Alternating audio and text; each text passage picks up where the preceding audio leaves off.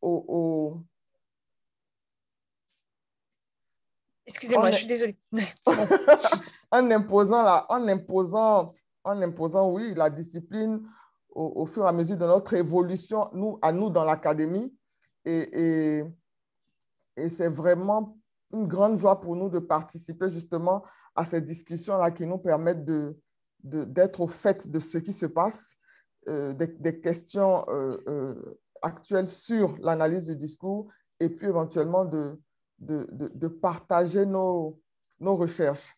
Alors, comme tu l'as dit, le, le, réseau africain d'analyse du discours qui a, qui a, été créé depuis 2019 et qui devait être lancé l'année dernière et qui a été reporté pour la raison qu'on sait, le COVID, la COVID, euh, euh, va finalement se tenir, euh, les journées d'études et de lancement vont se tenir du, du 3 au 5 juin prochain. Et euh, malgré, malgré la pandémie, euh, en tout cas les Africains répondent, les, ceux qui viennent d'ailleurs ont du mal par rapport aux, aux, contraintes et tout ça, mais en tout cas les, les Africains répondent, les, les Ivoiriens répondent et, et, nous, sommes, nous sommes très, très, très heureux. Alors, lorsque tu m'invites dans ce séminaire, je me dis, mais avec quoi je viens, qu'est-ce que je, laisse, qu'est-ce que je donne. Parce que si, si, je dois venir travailler sur des, discours que vous connaissez déjà, euh, quelle empreinte je laisse? Et donc, je me suis dit, euh, ça sera difficile, mais je vais présenter le Zouglou. Le Zouglou, vous allez le voir, qui est vraiment une pratique musicale, discursive, politique, et vous le découvrirez qui a une identité mouvante, flottante même, même si je n'aime pas l'expression, et qui, et qui vraiment est devenu un objet d'étude pour les, pour les scientifiques depuis à peu près une, une dizaine d'années. Et donc, j'espère qu'après cette, euh, cette présentation-là, vous, vous en saurez un peu plus sur le continent africain, du moins sur, le, sur la Côte d'Ivoire, dans, dans, dans, dans, notre vision du monde, dans notre façon de parler français, dans notre façon de... Voilà, vous, vous, vous, comprendrez un peu qui nous sommes après cette, cette présentation-là. Et je pense, je pense à Manon qui va trouver beaucoup, beaucoup, beaucoup de, de, de, petites phrases ou de... En tout cas, elle, va, elle, elle aura en face d'elle un corpus qui lui permettra de continuer ces recherches sur le, le langage comme euh, pratique sociale. Voilà. Donc, euh, vous connaissez le Zouglou parce qu'en 2000, dans les années 1999, à peu près 1999-2000, il y a un groupe Magic System qui, qui s'est fait connaître en France justement avec la chanson Premier Gaou. Donc, je, je, laisse Christine vous faire écouter pour que vous voyez un peu ce que ça peut être le Zouglou ou pour que vous vous remémoriez un peu ces, ces, ces vibes, comme disent les jeunes. Allons-y. Merci, Aimé. Il faut euh, juste quitter le partage d'écran. Merci, super. Euh...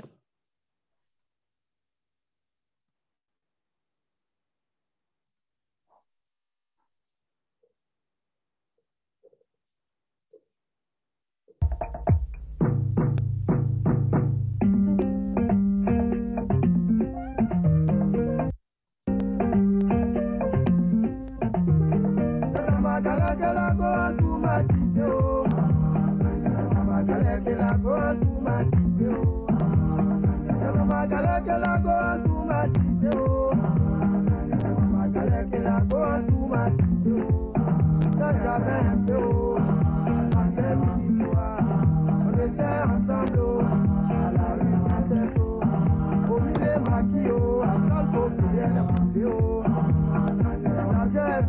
tout a changé de côté. Oh. Waribana, elle a changé de côté. Oh.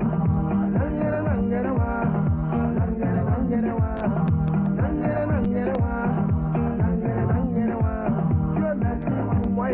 Je savais chanter un peu. J'ai fait ma cassette. Oh. Peut voir la. Matin, midi, soir, c'est moi qui chante à la radio. tẹsẹ̀ o. Attaché vers parti le coupé o. Mais on dit premier gaou n'est pas gaou o. C'est deuxième gaou qui est nyata o.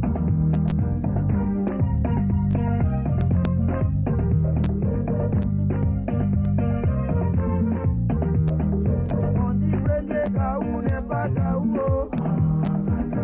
C'est deuxième gaou Dimanche matin et Coco, on frappe à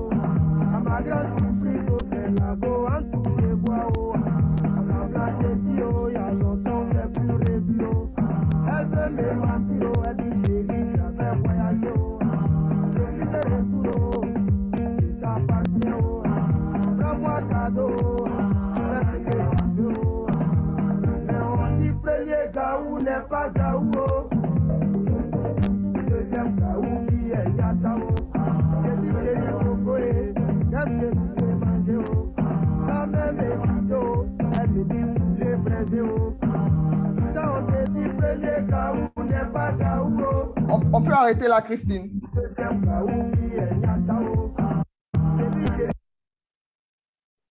Merci.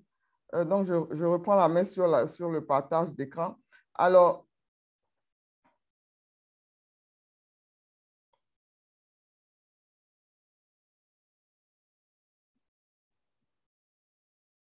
alors euh, la chanson que vous, venez d'écouter, comme je disais, c'est le premier succès international du genre musical Zouglou, premier Gaou. Alors, j'étais étudiante en France quand j'ai eu la surprise de, voir les, les chanteurs sur, euh, sur, sur une chaîne de télévision, je crois TF1.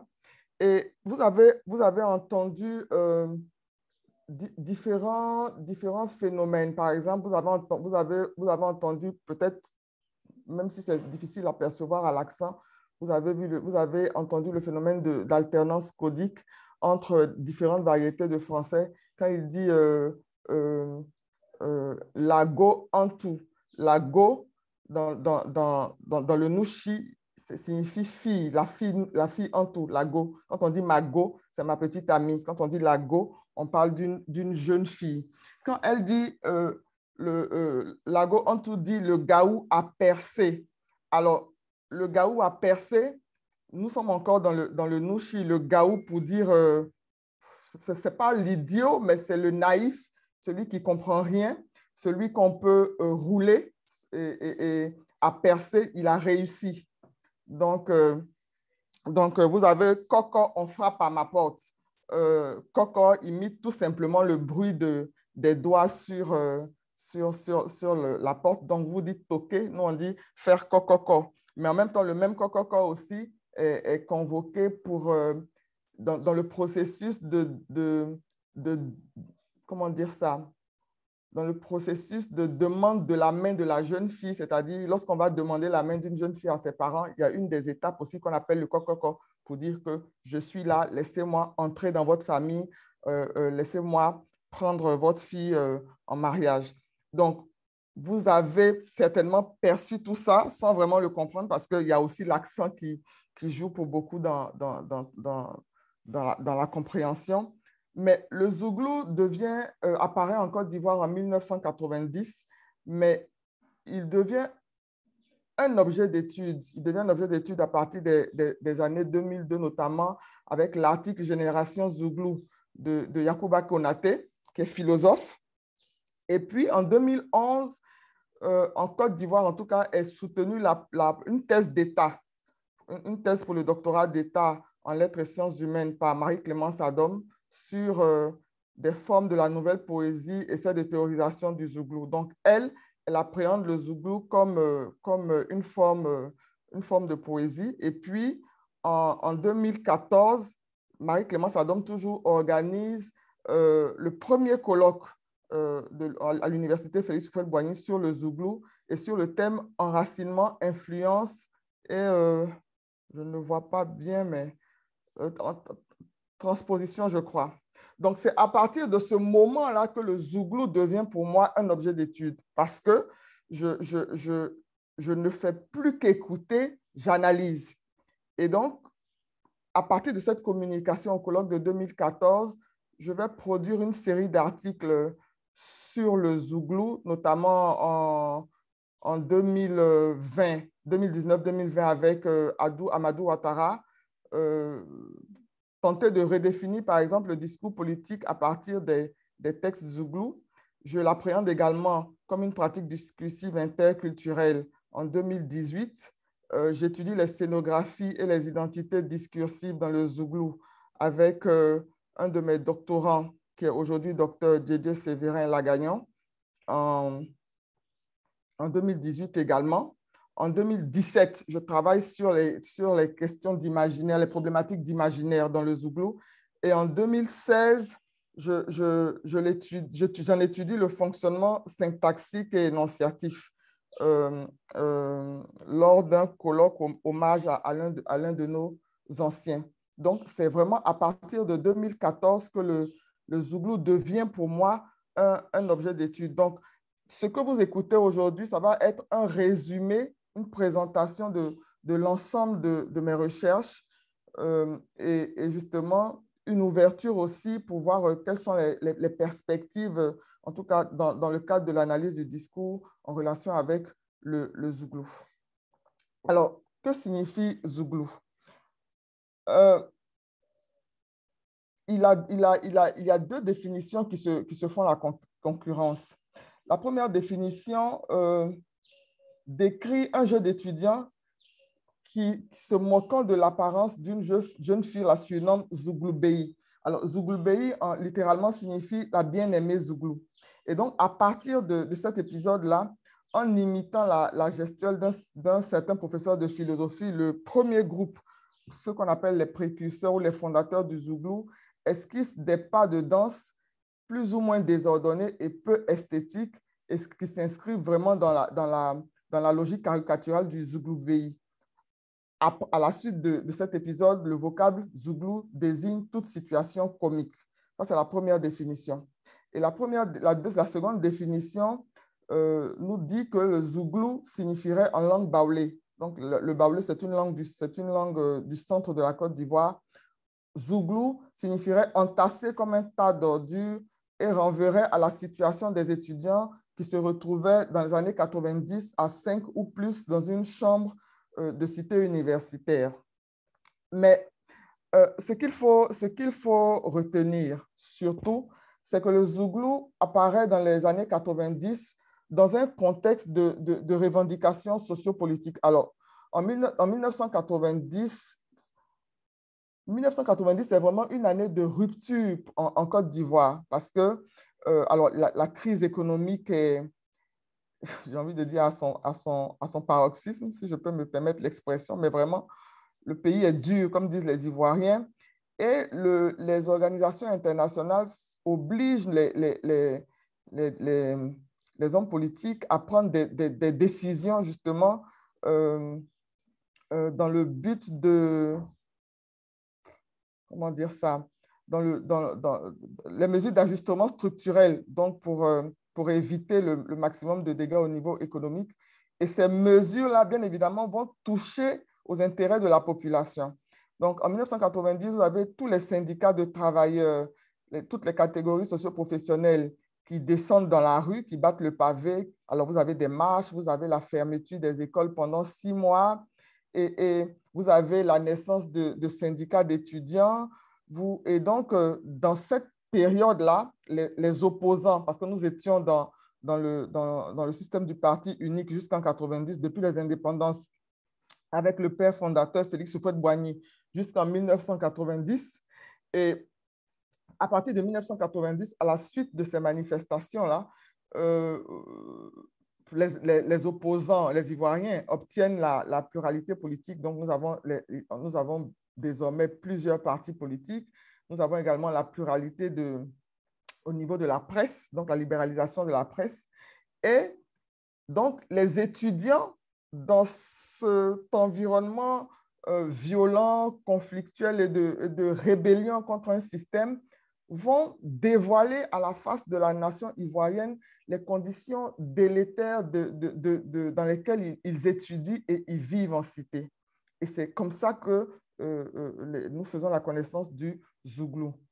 Alors, il y a, y a un, un le, la chanson manifeste du Zouglou ici résume bien le projet. À, à, la vie étudiantine, elle est belle, mais on y rencontre beaucoup de problèmes. Lorsqu'on voit un étudiant, on l'envie. Parce qu'il faut savoir que euh, les étudiants, en tout cas jusqu'à ce, cette période de 1990, les étudiants étaient très encadrés, très chouchoutés par le pouvoir en place. Ils, étaient boursiers, ils avaient des cars de transport, ils avaient les chambres de cité et certains parmi eux av- étaient- avaient un statut de fonctionnaire avant même d'avoir achevé leurs études. Donc, être étudiant, euh, c'était un statut enviable. Et, et, et même qu'ils étaient de bons partis pour les, pour les jeunes filles. C'est-à-dire qu'un étudiant, c'est quelqu'un qui, qui, en tout cas, va réussir sa vie et c'est quelqu'un avec qui on pourrait avoir une, belle vie, entre guillemets. Donc, c'est, tout ceci que le- l'extrait raconte. À la vie estudiantine, elle est belle, mais on y rencontre beaucoup de problèmes. Lorsqu'on voit un étudiant, on l'envie. Mais il faut être dans ce milieu pour connaître la misère et la galère des étudiants. Oh bon Dieu, qu'avons-nous fait pour subir un tel sort? Et justement, c'est cette manière d'implorer le Seigneur qui engendre le zouglou, danse philosophique qui permet à l'étudiant de se recueillir et d'oublier un peu ses problèmes. Dansons donc le zouglou. Christine, la deuxième vidéo, s'il te plaît.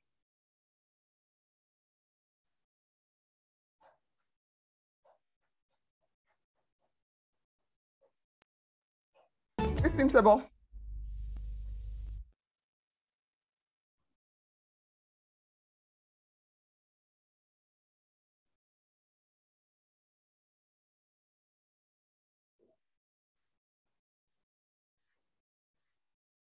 Voilà. Donc, comme vous, avez entendu dans, la chanson et comme vous pouvez le, deviner, le, zouglou, c'est une musique. C'est la musique que vous avez entendue là, qui est un, mélange d'instruments modernes, mais également de, musique traditionnelle. Certains ont parlé de la loukou. C'est une danse philosophique parce que euh, les pas de danse, les, les gestes de la main que, que vous voyez ont un sens c'est une pratique langagière, c'est une façon de parler, c'est une façon de dire le monde, c'est une façon de dire la Côte d'Ivoire. Au début, c'était une façon de dire la situation des Ivoiriens. Euh, beaucoup parmi ces détracteurs, justement, qui, qui avaient du mal avec euh, le niveau de langue, avec la grivoiserie, avec les thèmes, etc., avec le, le langage direct, euh, ont, ont prévu la disparition du zouglou. Aujourd'hui, le zouglou fait partie justement, et c'est pour cela que je l'ai étudié comme euh, une pratique discursive à portée interculturelle, parce que pour moi, c'est vraiment une pratique dans laquelle tous les Ivoiriens se, retrouvent. Avant le, avant le zouglou, nous avions des chanteurs célèbres, mais qui étaient liés, en dehors des, bien sûr, en dehors des, des gens musicaux venus d'ailleurs, mais les, des- des chanteurs nationaux étaient liés à un terroir. Et ils étaient ils, y étaient liés à un tel point qu'on entendait la reine, la reine, la reine de, ceci, de telle région, le prince de telle autre région, etc.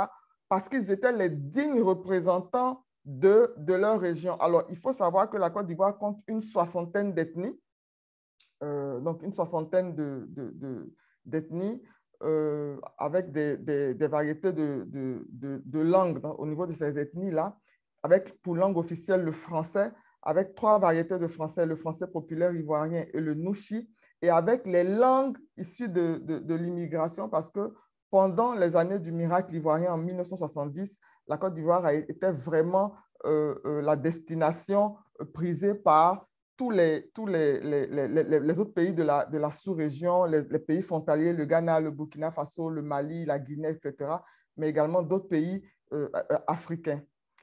Alors, donc, je disais une danse philosophique, une pratique, une pratique langagière, une forme de- d'expression culturelle ivoirienne. Et puis, avec euh, Marie-Clémence Adom, une poésie néo-oraliste, c'est comme ça qu'elle l'appréhende. Et puis, euh, et, donc, c'est un genre qui fonctionne pour moi entre rupture et hétérogénéité. Parce qu'il arrive en 1990 à un moment euh, de notre histoire qui, marque une nouvelle ère, l'ère du, pluralisme politique, l'ère du pluralisme de, la presse, une ère de liberté, une ère de, libération de la, parole, euh, en, même, temps que il, il va aller se nourrir de tout ce qui, toutes les ressources euh, euh, langagières et culturelles ivoiriennes pour euh, se, former. Alors, quand je décide d'analyser les, les imaginaires dans le Zouglou, je décide en fait d'identifier la vision du monde à l'œuvre dans cette pratique langagière. Mais en même temps, j'admets le caractère réflexif du phénomène Zouglou. C'est-à-dire que je conviens avec Bailly 2010 que le Zouglou, à l'instar des, des, musiques populaires, génère un discours créateur d'imaginaire en même temps qu'il rend compte d'un imaginaire d'où il émerge et dont il se nourrit.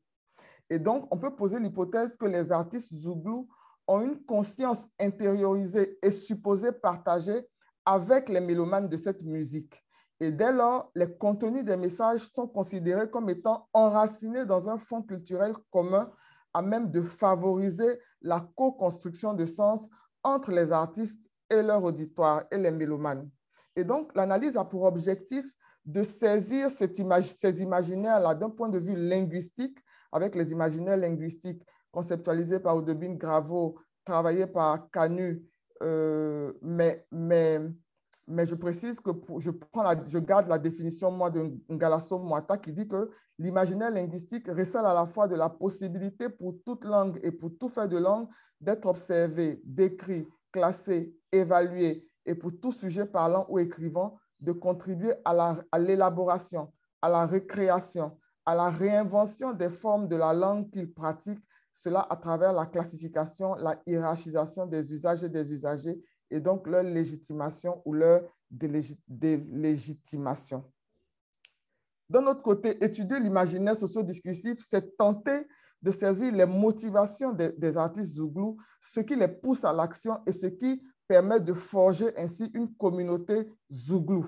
Parce que l'imaginaire socio-discursif, comme le dit Charodot, résulte de l'activité de représentation qui construit les univers de pensée, les lieux d'institution de vérité, et cette construction se fait par le biais de la sédimentation de discours narratifs et argumentatifs proposant une description et une explication des phénomènes du monde.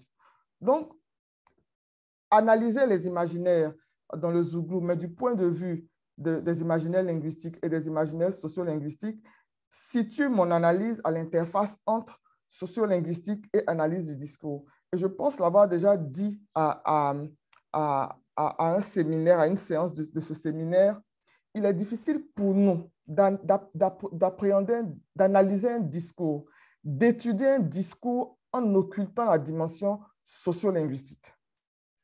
Je m'en suis rendu compte quand j'ai commencé à m'intéresser à des, discours locaux. Écrit en français, euh, comment dire, identifier dans la typologie des discours, les discours médiatiques, les discours numériques, les discours politiques, il y a forcément à un moment donné de votre analyse une dimension sociolinguistique qui est, qui est, qui est liée aux variétés de langues, qui est liée, euh, qui est liée à l'alternance codique et même, qui est même liée à la resémantisation de, de, certains mots français euh, en relation avec notre contexte vous écoutez des, des, Ivoiriens parler français, vous, vous entendez bien qu'ils parlent français, vous n'êtes pas sûr de comprendre, de, donner l'idée générale de la conversation que vous écoutez. Et pendant longtemps, je, me suis demandé comment, par, par, par, quelle entrée je pouvais appréhender ce comment dire ça, appréhender euh, ce que j'observais. Vraiment par quelle entrée? Et aujourd'hui, je, me dis, vu l'hétérogénéité dans laquelle nous, évoluons, peut-être que justement, le concept d'hétérogénéité euh, euh, développé par, alors j'ai peur d'écorcher son nom, Autier Reuve, Reuve Autier, Autier Revuse, ouais. Oui, Revuse. On dit le Z, ouais. Ah, d'accord, parce que je, je, le lis souvent, je le prononce, je, je, je, sais même, je ne sais même pas si je l'ai déjà prononcé. Donc, j'avais peur de, de, cocher, de cocher le Moi, je dis le, le Z, après, je ne sais pas, peut-être qu'il y a des gens donc, qui le disent. Donc, donc vraiment, pour, pour, pour, moi, pour moi euh, le, le, le Zouglou est vraiment symptomatique de ce qu'est notre contexte sociopolitique, socio-discursif, socio-historique, euh, et sociolinguistique. Et il, est, il, il nourrit notre, notre, notre, façon de parler, nos façons de parler, à, tel point qu'aujourd'hui, nous avons un problème par rapport aux questions de, normes. À quel moment est-ce qu'on parle français correctement? À quel moment est-ce que nous sommes en train de parler un français ivoirien? Et des, des- sociolinguistes développent ce qu'ils appellent la, la, la- comment on dit ça, la norme endogène du français euh, de Côte d'Ivoire parce que justement, vous vous exprimez en français et je pense que vous devez l'entendre quand je parle. J'ai un certain niveau expert en français, mais mon, mon, mon discours, justement, est traversé de, de tous ces éléments-là dans, dans, dans, dans, lesquels je, je baigne d'un point de vue euh, euh, euh, du point de vue du langage. Et donc, il est difficile pour nous d'aborder le discours sans, sans, en occultant la dimension sociolinguistique. Alors, il y a un aphorisme chez nous qui dit que trop de viande ne gâte pas la sauce. Ça veut dire que l'abondance, je traduis en français, l'abondance de bien ne nuit pas. Donc, je vous donne la version ivoirienne, trop de viande ne gâte pas la sauce. Donc, je, décide pour aborder la question des imaginaires dans le Zouglou, de partir d'un fait langagier, la définition. Vous allez vous rendre compte que la définition, le traitement de la définition par ces jeunes, vraiment exprime quelque chose qui est lié à une façon d'être, à une façon de vivre et à une façon de voir le monde. Donc, je ne sais pas, on dirait que je suis allé trop vite. Alors, je, ne vais pas rentrer dans des considérations co- conceptuelles sur la définition. Je, je vais tout juste euh, prendre cet extrait de À travers le miroir cité par Ray et qui dit, qui dit Quand je définis un mot, il signifie ce que je choisis de lui faire signifier. Parce que c'est exactement ce que nous vivons ici. La question est de savoir si vous pouvez faire dire au mot tant de choses différentes, lui, lui retorque Alice. La question est de savoir qui doit être le maître et c'est tout. On le voit avec cet extrait-là que la définition est finalement un espace discursif euh, de transgression langagière pour le, pour le locuteur. En tout cas, la définition peut être un espace discursif de, de transgression langagière.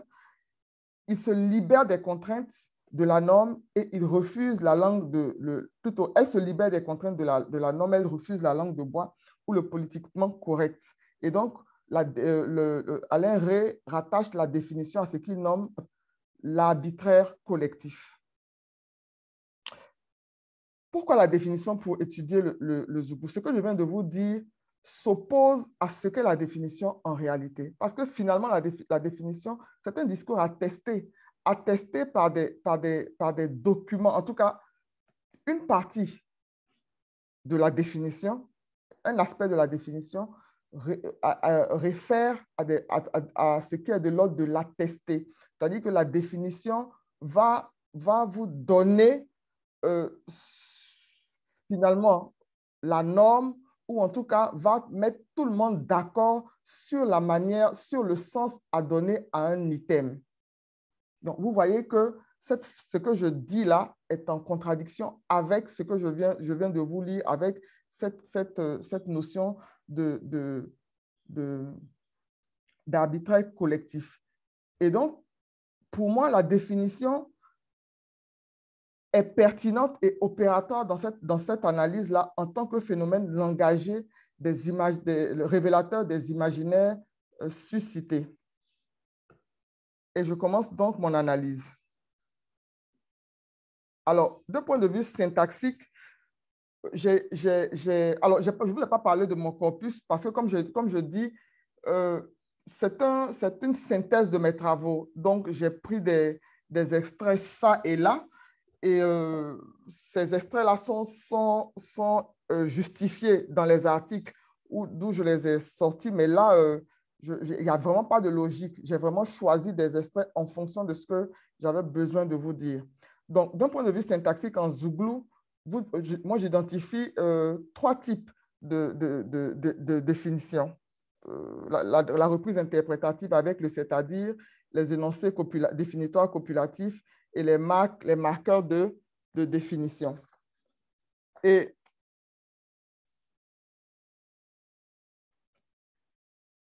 la reprise interprétative, par exemple, induit, in- in- introduite par le c'est-à-dire, induit le retour sur ce qui vient d'être dit. Et donc, la locution, euh, l'exemple 1, le progrès national, c'est-à-dire comment faire pour avancer, par exemple, se, se compose de trois parties. A, le progrès national. B, comment faire pour avancer. Et justement, la partie qui reformule avec en introduction le c'est-à-dire, qui pose une part d'égalité entre le A et le B. Donc, schématiquement, on aurait A égale B, où le symbole d'égalité est matérialisé par c'est-à-dire. La structure telle qu'elle se présente serait difficile à décrire car elle, échappe en partie à la linguistique synchronique. Mais d'un point de vue énonciatif, la locution c'est-à-dire a une fonction fondamentalement dialogique. Le locuteur rend son propos intelligible pour l'interlocuteur et donc la locution correspond à un besoin d'interlocution et d'intercompréhension. Donc la locution, c'est-à-dire, est un outil qui donne à l'interlocuteur la compréhension qu'il devrait avoir du dit et qui la rend accessible. Alors, vous avez les trois exemples que les deux exemples que j'ai cités. Le progrès national, c'est-à-dire comment faire pour avancer. Et exemple 2, les, les, elle cherche à faire la série C, c'est-à-dire la couture, la coiffure, le chômage, et souvent chasseuse de primes. Alors, cet exemple-là est extrait d'une chanson qui stigmatise la moralité des, des jeunes filles. Comme le pose le syntagme nominal série C. Dans le contexte éducatif ivoirien, le second degré, le lycée, est un cycle de spécialité. Et donc, la série C, chez nous, correspond à la filière scientifique. Or, dans l'exemple, qui, qui, qui, dans l'exemple, l'on constate que les métiers auxquels se destinent généralement les jeunes filles commencent par la lettre C, couture, coiffure, qui sont considérés ici comme des petits métiers, c'est-à-dire des métiers euh, du, du, système informel. Et la stigmatisation va crescendo avec les exemples de chômage et enfin chasseuse de primes. Donc, vous voyez comment on part de quelque chose d'attesté, de connu de tous pour développer finalement euh, euh, euh, une identité autre liée, au, au, liée, liée, aux jeunes filles qui évoluent en Côte d'Ivoire. Je passe maintenant aux énoncés, aux énoncés copulatifs. Alors, un énoncé définitoire copulatif est un énoncé qui, répond aux questions qu'est-ce que, qu'est-ce que, c'est quoi, non c'est quoi? Alors, avec les exemples, les, jeux, les mange-mille sont les jeunes filles qui adorent beaucoup les billets de mille. Autre exemple, on nous dit à l'école que le xénophobe, c'est celui qui n'aime pas l'étranger.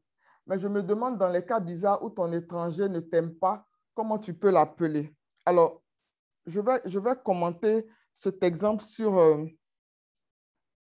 sur la, la, xénophobie, mais grosso modo, les énoncés définitoires manifestent un univers discursif qui est propre aux Zouglous et ils se fondent sur la compréhension de concepts des chanteurs, sur des jeux de mots et sur leur connaissance de l'histoire pour mener des, des analogies qui peuvent lier à leurs conditions d'existence. Quand on prend par exemple les mange-mille, le mange-mille, c'est un oiseau. Le mange-mille, c'est un oiseau, tout simplement. Mais pour stigmatiser encore la jeune fille, et il, faut, il faut savoir que les jeunes filles, alors ce sont des groupes masculins, vraiment, on a eu deux ou trois groupes féminins, mais qui n'ont pas prospéré. En général, les groupes Zouglou sont des groupes masculins. Et l'une de leurs, euh, de leurs activités favorites, c'est de justement stigmatiser, de, de taquiner, on va dire, parce qu'eux, ils disent qu'ils taquinent, mais bon, ce n'est pas très, euh, très élogieux pour, pour les jeunes filles. C'est vraiment de stigmatiser les jeunes filles dans ses comportements, dans, en, révélant son rapport à, l'argent, le rapport au matériel, comme dans la chanson, dans la chanson en tout. Donc, ils vont toujours partir de, de quelque chose de connu, d'un point de vue phonétique ou d'un point de, de, point de vue institutionnel, et, donner leur défini, une autre définition que celle qui est attendue. Donc, les mange-mille sont connus, ce sont des oiseaux, mais chez les Zoulous, ce sont des jeunes filles qui adorent beaucoup les billets de 1000 francs. c'est pareil pour l'exemple sur la xénophobie. Alors, nous avons connu une guerre en 2011, je ne sais pas si vous le, vous le savez. Et l'une des raisons de, cette guerre-là, en tout cas ceux qui ont, ceux qui ont pris les armes, parce que c'était d'abord une rébellion qui s'est transformée, qui a évolué sur dix ans en, une euh, occupation du territoire. Alors, on avait la Côte d'Ivoire du Nord, la Côte d'Ivoire du Sud. Certains ont parlé de Côte d'Ivoire des musulmans et Côte d'Ivoire des chrétiens pour, euh, pour devenir euh, un conflit post-électoral en 2010, à la suite des élections de 2010, et puis finalement une guerre en 2011 avec, avec l'extradition de, de- de leaders politiques vers la CPI, lesquels leaders politiques ont été libérés euh, le mois dernier, je crois, et, décla- et- et déclarés euh, euh, non coupables à- par la CPI en 2021. Donc, nous sommes dans une période assez trouble au niveau politique et justement, il y a eu tout un débat sur ces questions de xénophobie, Euh, la question de l'ivoirité, la question de la xénophobie, la question du regard sur l'étranger, etc., etc. Parce que la Côte d'Ivoire est un, est un, est un pays d'immigration et à un moment donné, euh, cette population d'immigrés-là a été euh, utilisée, moi, là c'est un avis, c'est vraiment pas une analyse, c'est un avis, a été utilisée par des, par des hommes politiques pour exacerber des, frustrations, des incompréhensions, etc., etc. Et donc, le Zouglou dit, on nous dit à l'école, donc la définition va partir d'une institution. On nous dit à l'école. Ce qui est dit à l'école est juste, est attesté, est, convenu, est reconnu. Donc, on nous dit à l'école que le xénophobe, c'est celui qui n'aime pas l'étranger. Mais je me demande, dans les cas bizarres où ton étranger ne, n'aime pas, t'aime pas, comment tu peux l'appeler? Donc, en- par, cette, euh, par, cette, euh, par cet énoncé-là, vous, vous sentez la frustration qu'on pu, vous, imaginez la frustration que les Ivoiriens ont pu ressentir euh, de se voir traités de xénophobes, alors que justement, dans leur, dans leur esprit à eux, dans leur imaginaire, ils sont hospitaliers l'Ivoirien se, se pense, se dit hospitalier, la Côte d'Ivoire est une terre d'accueil, etc., etc. Et donc, à un moment, à un moment de ce conflit-là, nous nous posions la question de savoir, mais pourquoi est-ce qu'on peut, nous, on peut traiter des Ivoiriens de, de- de xénophobes? Et les Zouglous disent, OK, le xénophobe, c'est ceci. Mais comment on fait quand c'est l'étranger que tu reçois qui ne t'aime pas? Comment est-ce qu'on le nomme? Quelles sont les ressources que la langue française nous donne pour euh, euh, caractériser ce phénomène? Quand l'étranger que tu accueilles ne, t'aime pas? Quand, quand je, je n'aime pas l'étranger, je suis xénophobe. Mais quand l'étranger ne m'aime pas, comment est-ce qu'on le définit? Alors, un autre type de, définition du point de vue syntaxique, ce sont les marqueurs de définition. Alors, l'exemple que je, vous cite là est intéressant. Le peuple veut dire mes moutons, notre économie signifie maturer, lire. Une Côte d'Ivoire nouvelle veut dire voler de nouveau. Donc, euh, euh, bon, les, verbes marqueurs de, définition sont surlignés en jaune. Et donc là, c'est pareil. Vous avez leur lecture de la société dans laquelle ils sont. Vous avez leur lecture de la, de, de- des hommes politiques qui nous gouvernent. Vous avez vraiment le regard qu'ils posent sur le contexte dans lequel ils évoluent. Et donc, ce, ce regard-là pointe d'emblée un manque de confiance entre les gouvernants, entre les hommes politiques, entre les discours euh, lisses, bien pensants des hommes politiques, mon peuple, notre économie, la Côte d'Ivoire nouvelle. Donc, tous ces, tous ces, tous ces vocables euh, qui projettent une Côte d'Ivoire, euh, qui projettent un projet de société, mais qui, en- qui, dans les faits, justement, avec l'expérience, nous montre que ce projet qui est dit un projet de société est finalement un projet individuel. Même le peuple, même mouton. Donc, vous avez, vous avez le, le possessif. Notre économie, matière lire. La Côte d'Ivoire nouvelle, voler de nouveau. Donc, la projection d'un idéal de société, en fait, on vous le vend tout juste pour être élu et donc et pour pouvoir puiser à nouveau dans les caisses. l'économie dont on parle, qu'on va mettre au service de- de- de- des citoyens, cette économie-là, justement, va servir à m'enrichir davantage ou à enrichir davantage les hommes politiques.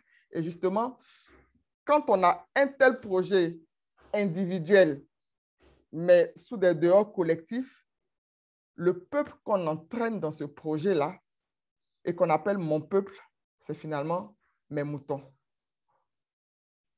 Voici un peu euh, euh, le, le- le- regard que les, les jeunes Zouglous portent sur les, les- les hommes politiques et les gouvernants de, de la, de la Côte d'Ivoire. Alors, d'un point de vue énonciatif, vous avez ce qu'on appelle des définitions stipulatoires. Et les définitions stipulatoires,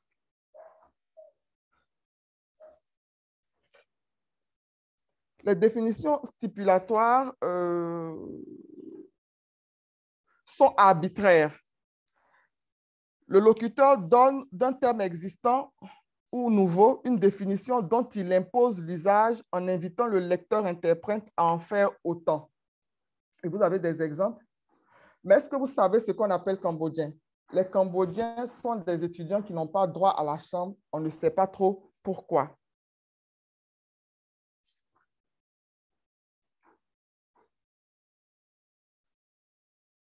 Exemple 7, les mieux informés sont les titrologues, ceux-là même qui chaque matin, très tôt, se retrouvent devant les kiosques à journaux pour lire les titres sans savoir le contenu. Savez-vous ce qu'on appelle les cocos? Les cocos, c'est les gens qui vivent dans la poche de leurs camarades. Ceux-là, c'est les cocos. Donc, vous, allez, vous, vous aurez des, comme, comme une resémantisation de, de- termes qui sont connus, mais cette, remonti- cette resémantisation pardon, part toujours d'un fond commun qui vous permettra de comprendre pourquoi est-ce que les étudiants entassés, l'étudiant qui n'a pas droit à la chambre est un Cambodgien, qui vous permettra de comprendre pourquoi est-ce qu'un titrologue est, un, est, est celui qui ne, qui ne lit pas les journaux et qui vous permettra de, cocon- de comprendre ce qu'on appelle un coco. Alors, coco, c'est en ouchi. Coco, ce sont, un- ce sont des, le coco désigne des, des parasites. Savez-vous ce qu'on appelle un coco? Les cocos, c'est des gens qui vivent dans la poche de leurs camarades. Ceux-là, c'est les cocos. Donc, vous voyez que vous avez un autre sens. Soit, soit le mot nouveau est dans une variété de langues qui est vraiment propre à la Côte d'Ivoire, en général le nouchi ou le français populaire ivoirien, ou même une langue locale, soit le, le, le, le, mot qui est connu de tous est resémantisé à un autre, avec, avec, une autre, euh, avec une autre définition. Alors, d'un point de vue discursif, comment est-ce que les, les, les- les définitions sont construites avec les variétés du français, par exemple? Donc, vous avez euh, l'alternance codique entre variétés de français, donc le nouchi et le français, qu'on appelle français standard, mais qu'aujourd'hui on a tendance à appeler le français ivoirien, ou alors le, français et le, le, le, français et les langues locales. Donc, par exemple, euh, mais lago ni couillon, c'est-à-dire Dieu n'est pas couillon. Alors, lago, c'est Dieu en langue BT, une langue de l'ouest de la Côte d'Ivoire, centre-ouest, ouest. Et ni, c'est la marque de, de, de, de la négation. La, définition est construite également à partir d'analogies, à partir de néologismes, le titrologue, et à partir de la pa- paronymie aussi. Euh, un artiste mécontent avait dit avant, moi j'étais batteur, quelquefois guitareur, quelquefois pianeur, quelquefois violeur, c'est-à-dire il joue au violon. Et puis euh, également à partir de la circularité, par exemple, femme, c'est femme. Donc, voici un peu comment est-ce que euh, ces jeunes-là euh, construisent, les, définitions. Et en général, les resémantisations sont doublées de, parodies. En général, les, les resémantisations sont, doublées de parodies. Et il faut noter que, justement, l'humour a une grande place dans le Zouglou. L'humour a vraiment une place prépondérante. Euh, qui connaît Papa Polo, c'est un cannibale il contient aussi les côtes. Donc, euh, euh, bon, le cannibale, on sait ce que c'est. Je ne vais pas m'attarder sur la définition. Il y a aussi des phrases à structure triadique. Euh, le tonton est stupéfait. En Zouglou, chez, chez nous, en Zouglou, ça veut dire quand tu peux, tu fais. Donc, quand tu peux, tu fais, c'est la définition Zouglou de stupéfait. Et vous voyez que là, justement, la définition est construite euh, sur un phénomène de, d'écophonie. Quand tu peux, tu fais, stupéfait. L'exemple 12, tous unis autour d'une tasse de thé, c'est ça, nous les Zouglous, on a appelé unité. Donc, unis autour d'une tasse de thé, unité. Donc là, on a un phénomène d'écosémie. Euh, euh, c'est vraiment le, le rituel du partage qui est euh, euh, euh, euh, lié à, l'unité. Alors, quand je vous ai dit tout ceci, qu'est-ce que cela donne au niveau des, imaginaires? Alors, au niveau des imaginaires linguistiques, euh, l'observation des textes des chansons zouglou donne à voir que les, les artistes ont conscience du milieu sociolinguistique dans lequel ils évoluent. Et qu'ils évoluent dans un milieu hétérogène, dans un milieu plurilingue, avec des langues locales, avec le français. Ils ont également conscience de l'existence de variétés de français. Et donc, ils vont, ils vont euh, aller de l'une à l'autre des variétés en fonction de leurs besoins euh, d'expression. Ils ont également une conscience de la norme. Parce que quand je reviens à cet exemple-là, un artiste mécontent avait dit, avant moi, j'étais batteur. Donc, j'étais batteur est construit d'un point de vue morphologique sur le, le, le, le, le- le modèle de celui qui a comme activité de jouer de la batterie. J'étais batteur. Et donc, si euh, celui qui joue d'un instrument peut être euh, le, le nom qui, le nom qui le désigne, si la désignation peut être construite avec le suffixe heure, mais continuons donc. Donc, guitareur pour celui qui joue de la guitare, quelquefois pianeur pour celui qui joue, qui joue au piano, qui joue du piano. Et puis, on va aller plus loin pour dire violeur pour celui qui joue du violon. Alors, je me suis, je me suis pendant longtemps demandé parce que, alors, c'est vrai que ce sont, c'était des étudiants au départ, mais ils ont été rejoints par des, jeunes euh, des quartiers qui évoluaient, qui évoluent en bande, qui, enfin, en bande, non, en groupe, qui évoluent en groupe, qui animaient les, soirées euh, dans les quartiers, dans les, fêtes de famille et tout ça. Et donc, il y en a parmi eux qui n'ont pas, il y a des groupes Zouglou où euh, les, les chanteurs n'ont pas un, un niveau élevé d'instruction. Moi, je me suis dit, mais pour, pour comprendre, pour, pour, pour jouer sur les mots de cette façon-là, il faut quand même avoir un minimum, à moins qu'il fonctionne à l'intuition, mais il faut avoir un minimum de connaissances en morphologie euh, euh, lexicale. Donc, batteur,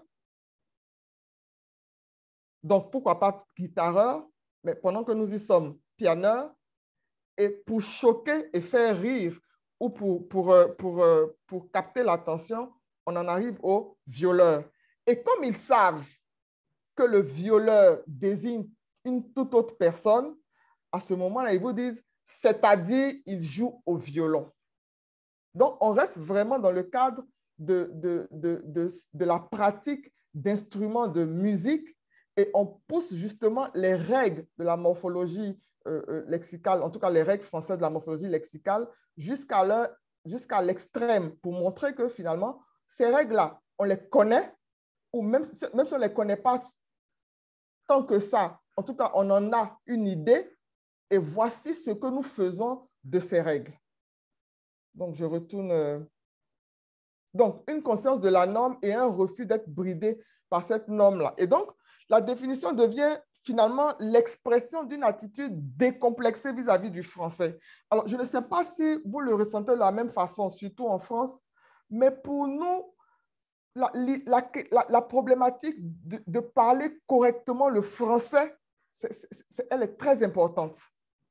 Elle est très importante et la qualité de, votre niveau de langue, la qualité de la langue française que vous parlez, c'est un, indice de- de réussite euh, euh, social, c'est un, indice de réussite sociale et c'est même, c'est même, euh, c'est même comment dire, c'est même, c'est même un instrument ou en tout cas un outil pour, de, positionnement social. C'est-à-dire que lorsque vous vous retrouvez en assemblée, parleront plus les personnes qui semblent être à l'aise avec la langue française. Donc, il- les Zouglous démontrent une, une attitude décomplexée vis-à-vis de la langue française et ils en font même un espace de liberté qui s'exprime à travers un retravail de la norme, comme les exemples l'ont l'ont montré. Et donc, finalement, pour les Zouglous, la langue française, qui est langue officielle en Côte d'Ivoire, est un moyen, mais pas une finalité. Je dis moyen parce que euh, malheureusement, euh, là vraiment, c'est le point de vue militant qui s'exprime, hein. malheureusement, notre langue officielle, c'est le français. Donc, les Ivoiriens n'ont pas une langue nationale, locale, qu'ils partageraient tous et dans laquelle ils se reconnaîtraient, comme par exemple au Sénégal, où ils ont le Wolof. La Côte d'Ivoire a, décidé, en tout cas les hommes politiques ont décidé d'ouvrir la Côte d'Ivoire et donc euh, comme, euh, comme instrument d'ouverture, de choisir la langue française comme instrument d'ouverture. Et donc, la question de la, norme, la question du bien parler français, la question de... C'est un- c'est- c'est- c'est- c'est une question qui est cruciale pour nous, mais en même temps, en même temps, c'est vraiment la langue dans laquelle, avec laquelle nous nous comprenons tous. Donc, parler en français, oui, pour faire passer mon message. Donc, la langue française est un moyen. Mais la question du bien parler français n'est pas leur problème. Donc, la langue française n'est pas la finalité. La finalité, c'est le message qu'on veut, qu'on veut faire passer. Et donc, du point de vue de la dynamique des langues, les définitions, en tout cas telles qu'elles sont traitées dans le Zouglou, se révèlent être un facteur de renouvellement de la langue française, en tout cas en Côte d'Ivoire. Parce que ce qu'il faut savoir, c'est que dès qu'une chanson est, diffusée, si elle connaît un succès, des, expressions de cette chanson-là nourrissent la langue euh, des Ivoiriens. Donc, vous allez avoir des expressions comme tu, parles bien, mais tu ne parles pas fort. C'est extrait d'une chanson Zouglou. Pour dire que, euh, euh, ce que ce que tu dis est correct, mais ce que tu dis ne m'arrange pas. Donc, tu ne parles pas fort. Tu parles bien, c'est correct, mais tu ne parles pas fort. Ça ne m'arrange pas, ça ne me valorise pas. D'un point de vue socio-discursif, euh, vraiment, le, le, le Zouglou manifeste un, environnement de diversité et d'hétérogénéité. Je l'ai déjà dit, hein, sociolinguistique, euh, culturel, politique, euh, au niveau des catégories socio-professionnelles. Vraiment, le Zouglou manifeste la société ivoirienne dans son ensemble avec de- des éléments qu'on pourrait considérer comme épars, mais qui viennent former une unité et qui font, qui font finalement, qui font du Zouglou justement l'une des formes d'expression de l'identité nationale, comme le dit Agui Bailly. Mais en même temps, c'est un- une pratique langagière qui marque une rupture dans, dans l'ordre du discours. Une rupture au niveau de, de la, qualité de la langue française, une rupture au niveau des thèmes abordés. Alors, ce sont, les Zouglous peuvent être également vus comme des, des acteurs politiques parce que c'est peut-être l'espace où on peut interpeller un chef d'État ou un homme politique, euh, pas sans crainte, pas sans la censure, mais en tout cas où on peut le, où on peut le faire. C'est vraiment l'espace où où ils le font euh, de, façon assez récurrente. Et justement, lors des dernières élections en 2020, en octobre, il y a eu, euh, il y a eu euh, du bruit autour de deux artistes zouglous qui avaient justement interpellé le, le- président de la République sur, sur des pratiques, sur des décisions qu'il avait prises. Et ces, ces- chanteurs ont été arrêtés, mais libérés à la suite de la mobilisation des, des, des- citoyens et même du, de, l'ensemble des, du corps, euh, comment on les appelle les- les avocats, ils constituent quel corps? Le corps des avocats. c'est également un discours de la rencontre. Le Zouglou, c'est également un discours de la rencontre. Et quand je le dis, je le souligne de trois traits rouges parce que euh, euh, je le dis dans une société, qu'on le veuille admettre ou pas, qui est aujourd'hui clivée d'un point de vue politique, clivée d'un point de vue ethnique, clivée d'un point de vue religieux. Et donc, moi, le Zouglou, finalement, va être cet espace-là où vous retrouverez toutes les religions, toutes les ethnies, toutes les langues, euh, toutes les cultures, finalement, dans un maquis, le, maquis, c'est un espace de détente où on mange à moins cher, dans un maquis autour d'une bonne bouteille, de, autour d'une bière bien fraîche, en écoutant du zouglou, vraiment, c'est vraiment l'espace où, nous nous, où les Ivoiriens se rencontrent. C'est un espace aussi où, sont négociées les questions de, de pouvoir. C'est vraiment un espace où sont négociées les questions de pouvoir. Euh, comme je l'ai dit tout à l'heure, c'est vraiment avec les chanteurs zouglou qu'on a vu interpeller des, des, chefs d'État sur leur pratique, ce que des journalistes euh, n'oseraient pas, euh, sauf s'ils sont téméraires, ce que le citoyen lambda n'oserait pas, mais vraiment, le Zouglou libère la parole et comme on dit, en Zouglou, ça réussit toujours. Donc, ils vont le dire d'une façon, euh, d'une façon humoristique, mais ils vont, ils, vont, ils vont souligner des faits qui sont graves. Et, euh, et, peut-être que c'est finalement l'espace qui va permettre de réguler, de, réguler ou en tout cas d'encadrer, si on peut le dire ainsi, justement les faits et gestes du, du politique parce qu'ils savent que dans cet espace-là, justement, ils seront épinglés et ils seront épinglés sans faux fuyant. Alors, pour moi, euh, cette pratique-là fait finalement de la Côte d'Ivoire une société euh, euh police-centrée.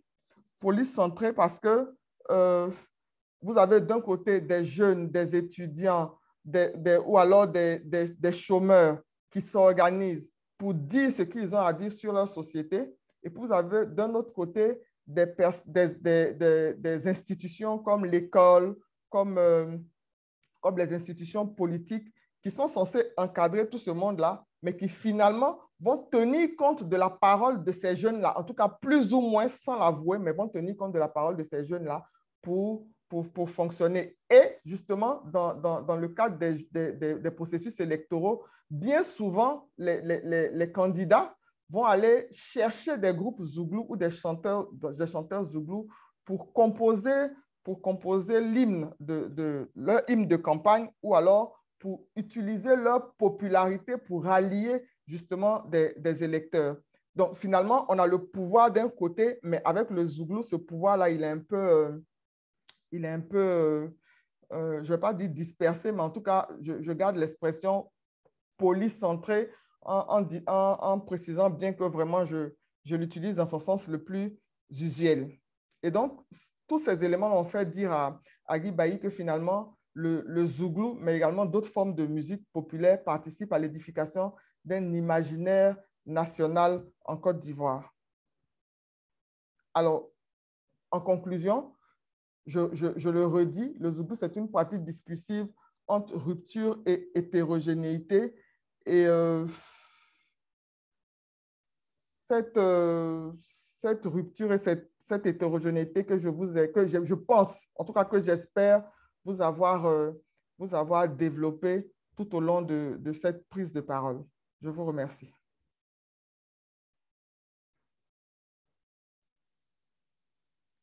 Merci beaucoup. Hein, merci, pour cet exposé passionnant.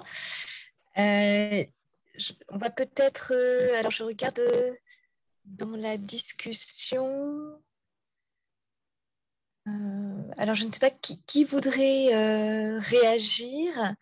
Euh, alors, il y a William Keller qui, qui, doit, qui, a dû partir pour une surveillance d'examen et qui vous a indiqué dans son dans le, le, chat là, dans la discussion, son mail parce qu'il aimerait échanger avec vous. Voilà.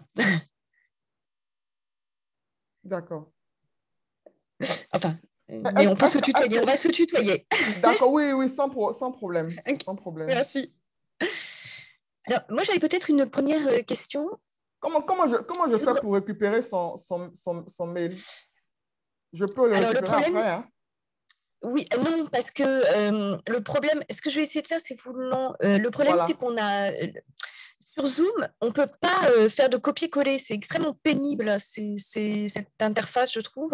En tout cas, le- le- la- l'espace de discussion, on ne peut pas faire de copier-coller. Mais ce que je vais faire, c'est que je vais vous l'envoyer.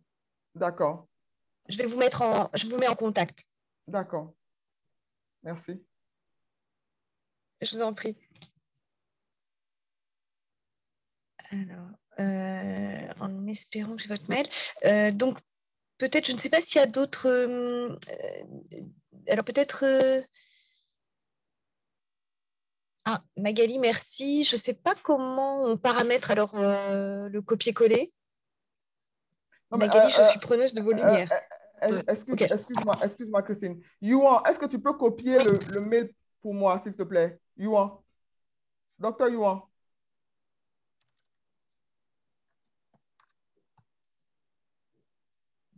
Ou Junior Jessie. Alors, euh, Yves Voilà. A répondu. OK. D'accord, ok. C'est bon. Alors, il y a euh, Maglo qui voudrait aussi avoir votre euh, mail. Peut-être, alors, euh, Aimé, peut-être, euh, peut-être, peux- peux-tu euh, mettre dans le, dans le chat ton mail, comme ça, les, les personnes qui pourront peut-être prendre contact directement avec toi? C'est bon, c'est fait. Merci. Alors, je sais pas, peut-être que je... Donc, j'aurais une première question. Euh, vraiment, c'était c'était passionnant et euh, je, me demandais, donc, euh, c'est difficile de dater le, début du mouvement. Tu l'as daté au début des années 90. Euh, et donc, ma question, c'était un petit peu sur les profils euh, des, euh, des porteurs un peu de ce mouvement et, de, et aussi, est-ce que c'était, apparemment, c'est très urbain, donc, mais est-ce qu'on retrouve sur l'ensemble du territoire ce mouvement? Alors, les, profils, comme je l'ai dit, les profils ont évolué. Au début, c'était des étudiants. C'était des étudiants et on dit même que le, le- mouvement a commencé dans une cité universitaire, à, à la cité universitaire de Yopougon. Donc, c'était des étudiants. Et puis, quand il s'est développé, justement, on a eu, alors, il a, on a eu des groupes d'étudiants et de, alors, je ne sais pas, de sans-emploi, je ne sais pas, de déscolarisés. Dans mes articles, je dis souvent des déscolarisés. Parce que, parce que notre, notre, notre, système, notre système provoque beaucoup de, de, de laisser pour compte, on va dire. De, laisser pour compte. Il y a beaucoup, beaucoup d'échecs scolaires, beaucoup de, jeunes qui sortent du système scolaire parce qu'ils n'ont pas de moyens, parce qu'ils n'ont pas de bourse, parce que parce qu'ils n'ont pas, n'arrivent pas à suivre, etc. Donc, euh, c'était d'abord des étudiants. Après, vous avez des groupes avec des étudiants et des, et des déscolarisés. Et puis, vous avez des groupes aussi qu'on appelle des groupes warriors. Donc, ce sont des groupes d'ambiance facile des quartiers et qui sont devenus, qui se sont modernisés pour devenir des, des, groupes Zouglou. Donc, vous avez un peu de tout, mais aujourd'hui, euh, le genre musical s'est professionnalisé. Donc, euh, ce sont des artistes Zouglou. Ce sont des artistes Zou- Zouglou. Et du point de vue, oui, c'est un, un phénomène qui est urbain. Parce que justement, comme il est, l'identité est, est flottante là, justement, certains l'aborderont du point de vue des musiques urbaines. Des musiques urbaines. Et c'est et c'est au sein de ces, de, de ces musiques-là que vous aurez un déploiement justement de cette variété qu'est le nushi, qui est une variété urbaine aussi. Mais, mais urbaine et jeune. Donc là où vous aurez des jeunes, vous aurez des, vous aurez des, vous aurez des, mélo- des, des mélomanes du Zouglou, vous aurez des, des- des locuteurs du Nushi. Mais en même temps, quand je, je vous dis ceci, ce n'est pas tout à fait juste parce que quand je vous dis 90, je vous parle de, de moi en tant que jeune en 90. Donc, nous avons, nous avons grandi avec le Zouglou, nous avons évolué avec le Zouglou. Et donc, aujourd'hui, oui, musique urbaine, mais jeune, pas forcément. Il y, a des, il, y a, il y a parmi les mélomanes de bons quinquagénaires. Faire. Donc voilà. Alors, je ne sais pas si j'ai répondu à toutes les la questions, je ne sais pas. Profil. Si, si, merci euh, beaucoup, voilà. merci. Voilà. Alors, Manon avait une question. Manon, tu veux la poser en direct? Euh, oui, c'est juste qu'il y avait du bruit derrière moi tout à l'heure. Euh, Oui, oui, non, mais je, je- je me demandais, en fait, parce que vous avez évoqué au début euh, la question de la, de la réflexivité. En fait, euh, c'est moi, je pose des questions sur les objets qui, qui m'intéressent. Donc, c'est un peu peut-être euh, j'ai préparé, j'ai l'exposé vraiment en, en ayant, en ayant Manon en tête. Ah, c'est trop gentil, merci. Et du coup, je me demandais euh, comment euh, vous attaquez cette question-là de la réflexivité, parce que aussi euh, toute la, réflexion sur les imaginaires, il y avait cette, idée de la réflexivité aussi et de comment on parle du fait de parler et qu'est-ce qui ça nous évoque comme oui, bah voilà, comme imaginaire, comme idéologie, comme, comme valeur, attitude et tout. Et, euh, et là, donc, euh, bah, je me demandais, parce que vous avez parlé de réflexivité, vous l'avez défini comme, euh, et je trouve que c'était hyper intéressant, comme le fait que les locuteurs ont déjà conscience d'appartenir à cet espace sociodiscursif-là, du zouglou. Et, euh, et du coup, je me demandais comment ça se manifestait, est-ce que ça a laissé des traces dans le discours et notamment dans les définitions? Je me demandais, euh, donc, bah, j'imagine que oui, et je pense que vous l'avez évoqué, mais peut-être revenir dessus. euh, euh, Est-ce que vous avez observé pas mal de, dialogisme dans, ces définitions-là et, et comment, voilà, comment vous travaillez cette question-là pour délimiter cet espace sociodiscursif et en utilisant ces- cette idée de la réflexivité des locuteurs euh, sur leur pratique, voilà, qui, moi, en fait, c'est un peu mon, mon dada, en fait, Je vais, je vais, je vais Je vous, je vais- envoyer, si j'ai votre mail, un article, un article justement où je, Ah oui, je veux bien, bah, je mets mon mail voilà, dans, le, j'aborde la dans le chat question. alors. je, ne l'aborde pas en termes, de, en termes de, de, de limites, mais, mais plutôt en termes de...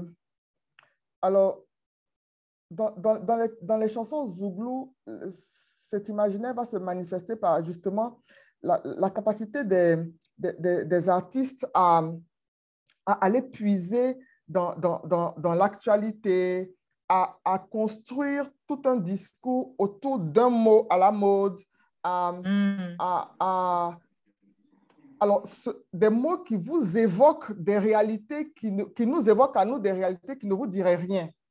Mais en même temps, en même temps, c'est comme si, c'est comme si que de le mettre en musique participait à, je, je- je le dis, mais en même temps, ne m'en veuillez pas. C'est comme s'il y avait une dimension marketing derrière. C'est-à-dire que... on- Bah oui, on- j'avais une autre question sur ça après, ouais. donc, donc- donc, Ouais, en fait, c'est très très lié en au fait, contexte, il, bien il- sûr. ouais. il révèle, il révèle, il diffuse, il, euh, oui, il révèle, il diffuse. Mais pour comprendre, il faut euh, appartenir au, au contexte. Alors, est-ce que j'ai... euh, voilà, par exemple, euh, euh, taper d'eau. Je, vous donne cet exemple-là. Taper d'eau. Donc, j'écris dans le chat là, taper d'eau. Non, taper d'eau. Donc, vous voyez, tap- taper d'eau. Si, si, si je ne me trompe pas, taper d'eau, c'est un personnage politique. Vous voyez, taper d'eau, c'est un personnage politique qui a fait parler, enfin, qui est une personnalité politique, qui a fait parler d'elle à un moment donné. Je ne, me souviens plus trop pourquoi, mais taper d'eau, c'est c'est quelqu'un que nous connaissons tous. On vous dit, taper d'eau, c'est celui qui cherche la femme de son ami. Donc, celui qui cherche, ce- celui qui, celui qui, qui, qui convoite une femme mariée, on l'appelle taper d'eau. On le désigne par le vocable taper d'eau. Pourquoi? Regardez ce que j'ai écrit. Il tape dans le dos. Donc, vous voyez, c'est c'est une, image. Donc, en même temps, je- j'entends taper d'eau. Je, je, je comprends qu'on fait référence à, ce- à cette personnalité politique. Je vais chercher à voir si la définition qui est donnée au vocable taper d'eau, qui consiste à draguer une femme mariée, mais pas n'importe laquelle, la, femme de son ami, si, cette, si cette définition-là a un lien avec l'actualité de la personnalité politique dont on parle, et puis, euh, euh, alors, des fois, il y a un lien. Des fois, il n'y a pas de lien. C'est tout juste qu'en ce moment-là, la personne est populaire, euh, mais en même temps, on construit quelque chose pour... euh, je ne sais pas trop comment, comment vous le dire. Donc, en fait, en fait dans, mes analyses, dans les analyses, on peut le limiter, on peut le délimiter par avec l'actualité, avec... euh, il, réfère toujours à, quel- à quelque chose que nous avons tous en commun, nous les Mm, Ivoiriens. mm, Aujourd'hui, ça mm. va être les réseaux sociaux. Si vous êtes, si vous êtes souvent sur les réseaux sociaux, dans des groupes euh, avec euh, des, Ivoiriens à majorité, vous, vous verrez, vous, vous retrouverez des histoires qui circulent sur les réseaux sociaux dans des groupes ivoiriens, dans des chansons zouglou. Euh, par exemple, il y a une chanson où on dit Président, il n'y a plus de clôture pour sauter. Maman bull- bulldozer a tout cassé. Alors là, je sors de la définition. hein. Je vous donne un énoncé qui me vient à l'esprit. Président, il n'y a plus de clôture à sauter. Maman bulldozer a tout cassé. Alors, la clôture fait référence à un épisode de la vie politique de notre actuel président. C'est-à-dire qu'il y avait des troubles en Côte d'Ivoire et il se raconte que lorsque les militaires sont arrivés à sa résidence, sa résidence, sa résidence qui est contiguë à celle de l'ambassadeur de, Côte d'Ivoire, de France en Côte d'Ivoire, que le président, à l'époque opposant, Allemagne, pardon, sa résidence contiguë à la, résidence de l'ambassadeur d'Allemagne en Côte d'Ivoire, l'actuel président, mais qui était à l'époque un, un, opposant et qui était opposant, aurait sauté le, le mur mitoyen pour se retrouver dans un, dans un espace international chez l'ambassadeur d'Allemagne de, de, en Côte d'Ivoire. Donc, la chanson dit, Président, il n'y a, plus de- a plus de clôture à sauter. Ça veut dire que tu as eu de la chance la première fois. Si jamais nous, nous réagissons, tu n'auras pas, de, tu n'auras pas cette chance-là. Mais en plus, quand ils disent Maman bulldozer a tout cassé, Maman bulldozer, c'est le surnom d'une ministre de. de elle était ministre de quoi?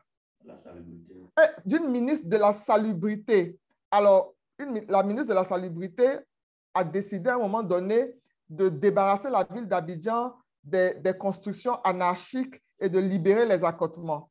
Et donc, elle n'hésitait pas à aller en tant que ministre en tenue de sport avec des gendarmes sur le terrain pour superviser justement la démolition des bâtiments euh, anarchiques. Et donc, on l'a surnommée Maman Bulldozer parce qu'elle venait accompagnée de bulldozer, mais bulldozer aussi parce que, parce que, parce que c'est une dame assez euh, de corpulence, avec une corpulence assez forte. Donc, bulldozer renvoie à la machine qui l'accompagne dans ses entreprises de démolition, mais bulldozer renvoie également à sa corpulence. Et, bulldozer, maman bulldozer a tout cassé, maman bulldozer renvoie à cette ministre-là qui justement euh, dans, dans, dans son action de, dans ses activités de salubrité, casse tout sur son passage. Donc, au passage, on dit, puisque vous cassez, il faut savoir que la clôture que tu sautes pour rejoindre le territoire international n'existe plus parce que ta ministre l'a cassée et que donc, si nous voulons manifester, nous saurons où t'attraper. Donc, vous voyez, euh, mais en même temps, tous ces éléments-là dans un seul énoncé réfèrent à des, d'un point de vue temporel, à, des moments différents. hein. La clôture, l'histoire de clôture, c'était il y a 20 ans. Maman Bulldozer, c'est- encore d'actualité les, les- les cinq dernières années. Elle, elle est encore ministre, cette dame, elle n'est plus ministre de la salubrité, je crois, mais elle est encore ministre. Elle, elle- elle est ministre de la fonction publique aujourd'hui. Donc, vous, vous voyez que nous, nous, nous qui connaissons l'actualité et l'histoire, nous avons des repères dans les énoncés pour, pour, pour, pour comprendre où est-ce que les- les- ils vont puiser les éléments pour la construction de cet imaginaire et, pour le diffuser. Nous, nous pouvons le faire. Mon problème à moi, c'est comment je le formalise dans une analyse, d'où je pars, avec quoi je commence. C'est vraiment toute la problématique dans laquelle je suis aujourd'hui et c'est, on, pourra, on pourra continuer les discussions par mail, mais c'est, c'est vraiment euh, ma préoccupation aujourd'hui. Donc voilà. Hmm, Je ne sais pas si j'ai répondu à, à, à la, à la- à la question. Si, si, Voilà, si, en, par- partie, oui.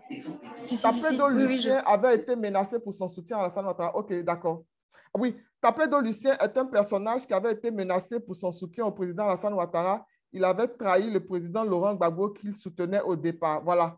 Donc, euh, celui qui cherche la femme, la femme de son ami s'est fait remarquer sur la scène politique ivoirienne en trahissant justement euh, le président Laurent Gbagbo, dont il était un soutien pour se diriger vers, euh, vers Alassane Ouattara. Donc, c'est un traître, tout comme celui qui drague la femme de son ami est un traître. Donc, voilà.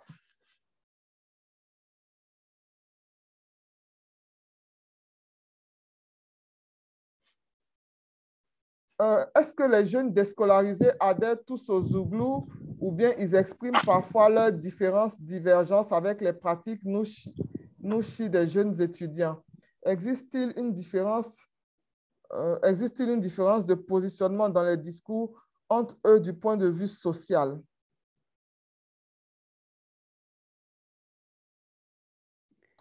Je, ne comprends pas la question. Est-ce que les jeunes déscolarisés adhèrent tous aux Zouglou? Bonjour, Oui, je peux la reformuler. Euh, je suis désolée, je ne peux pas être à l'écran. Je n'ai pas assez de réseau. Je vous remercie beaucoup pour la présentation.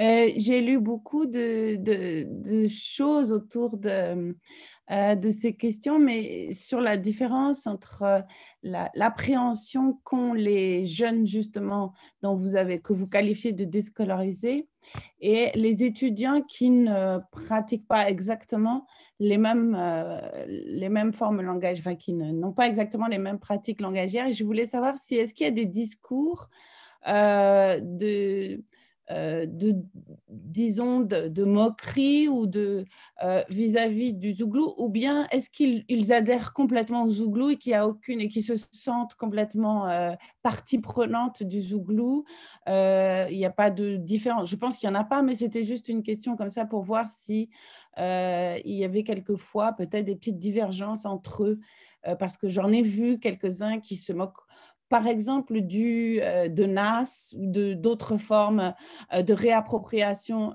du Nushi pour des, justement liés à des enjeux plus industriels, des questions d'argent, des questions de, de, réappropriation à des fins financières.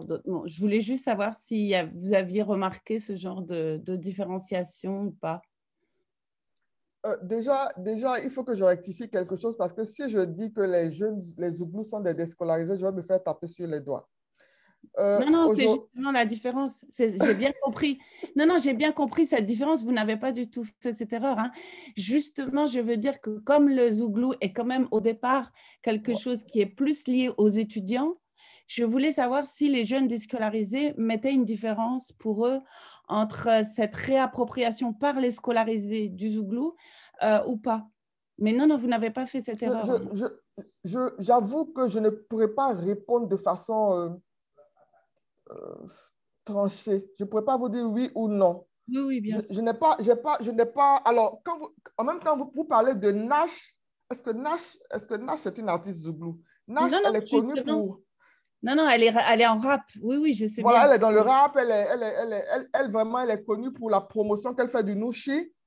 Alors, est-ce qu'il y a des divergences entre les pratiques Nushi des étudiants et des, et des, et des, et des, des scolarisés? Alors, je sais que le, le Nushi, par exemple, c'est les, les, spécialistes du Nushi, et, il y en a parmi nous là, les spécialistes du Nushi disent, marquent des différences du point de vue des communes de, de, de, la, de, la, de la ville d'Abidjan, que le Nushi d'Abobo ne serait pas le Nushi de Yopougon, ne serait pas le Nushi de Kumasi, etc. Mhm. Euh, est-ce qu'il y, a, est qu'il y a des différences ou divergences entre, avec les pratiques Nushi Je ne saurais pas le dire parce qu'il faudrait que je mène, on mène une enquête pour, pour cela. Il faudrait avoir un, un, corpus et mener une enquête dans ce sens-là. Est-ce qu'il y a des différences de positionnement entre, d'un point de vue social? Hmm, Je ne crois pas. Je, je, ne, je, ne, je, ne, je ne pense pas. C'est-à-dire que dans, dans, les biographies, dans les biographies, on voit qu'un tel était étudiant ou un tel est étudiant, etc. Qu'il a, il a dans le groupe, euh, il, a dans le groupe, il est dans le groupe avec d'autres qui ne sont pas étudiants. En général, ils sont les, ils sont les porte-parole. Les étudiants dans des groupes hétérogènes seront les porte-parole parce que, bien évidemment, ils, ils- ils ont cette facilité-là euh, au niveau de l'expression en langue française. Euh, Ils parlent, ils parlent français plus facilement que les autres, ou ils sont plus à l'aise en tout cas devant, devant le, le micro que les autres. Mais je n'ai pas, je ne sais, je n'ai pas, j'ai pas entendu parler de, il y a des rivalités Oui, par rapport au succès des groupes, par rapport, euh, par rapport à qui existe à l'international, qui est resté, qui est resté euh, au niveau local, euh, par rapport à qui, qui vit de son art et qui végète, Mhm. euh, par rapport à, à qui le fait de façon professionnelle et qui le fait, euh, qui le fait euh, par à coup.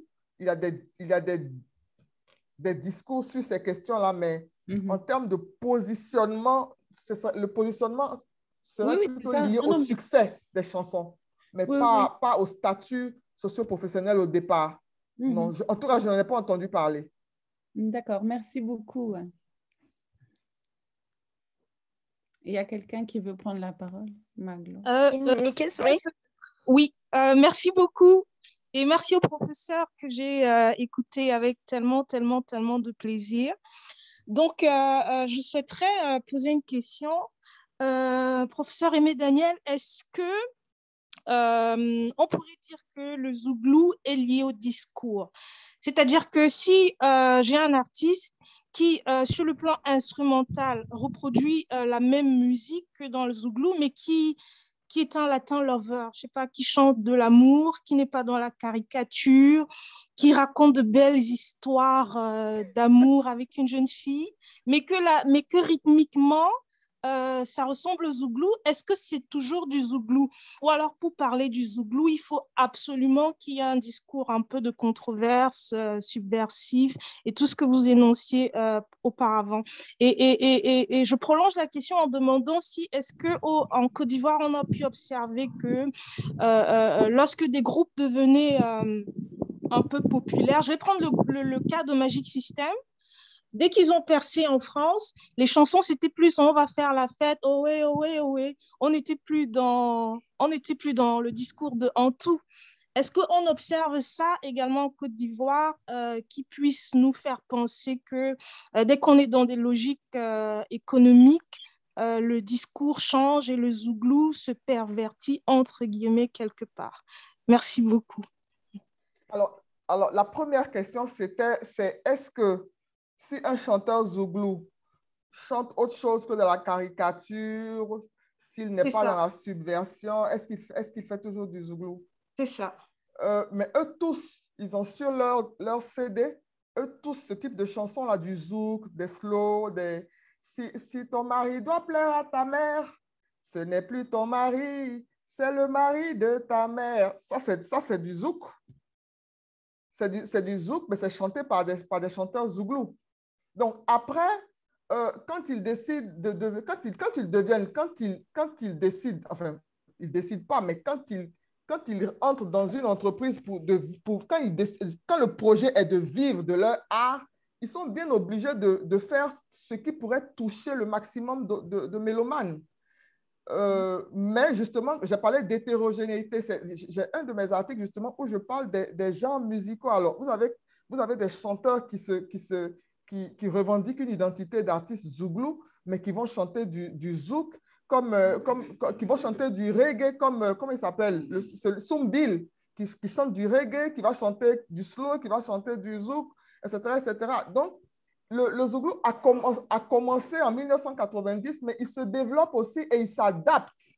Il s'adapte. Maintenant, quand je dis il s'adapte, je le dis entre guillemets parce que justement, il y a eu un, il y a eu un, un gros débat sur cette question de, de, de, qui pervertit le zouglou.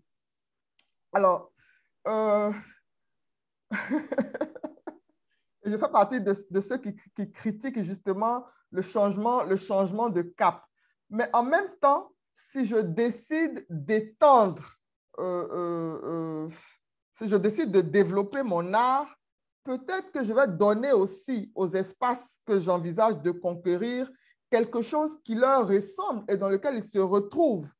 Maintenant, en relation avec l'identité du, du Zouglou, euh, je, n'aurais pas envie de m'avancer. Ça, c'est un, dé- un- gros débat que je n'ai pas envie de, de trancher ici. Et je ne pense même pas même qu'il soit, qu'il soit tranché, ce débat-là. Parce que, mais en même temps, le, les, Magic System restent une figure du Zouglou en, Côte d'Ivoire. Même s'ils commencent à faire de la world music, même, mais ils, ils, font de la world music quand ils sont en France parce qu'en tout, c'était bon. Mais est-ce que le public français continuera d'aimer euh, des chansons qui restent dans le registre de en tout? C'est ça, c'est un peu cela le problème. Peut-être que les majors, les, les, maisons de Dix ou les producteurs qu'ils ont euh, ailleurs qu'en Côte d'Ivoire leur ont donné le conseil d'adapter justement le zouglou au, au, goût musicaux des, des publics qu'ils qu'ils ambitionnent de conquérir.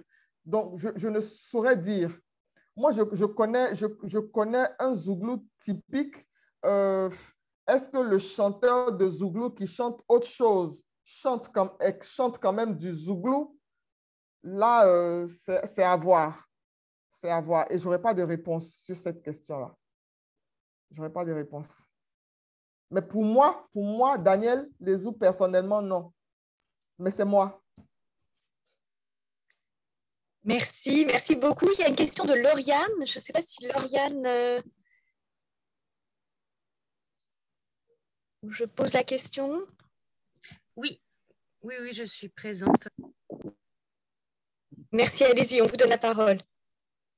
Je me permettais effectivement de m'interroger sur des liens qui seraient ou pas possibles de faire entre donc les pratiques des alliances et des parentés à plaisanterie, c'est comme ça que c'est nommé au Burkina Faso, en tout cas par le professeur Sissao, et donc qui peuvent avoir différentes dénominations, et donc les pratiques du Zouglou. Je pense par exemple à la chanson Solidarité de Magic System, mais je voulais savoir voilà s'il y avait d'autres liens ou si ces pratiques qui, en fin de compte, permettaient une forme de didactique de la pluralité pouvaient se compléter, s'entretenir?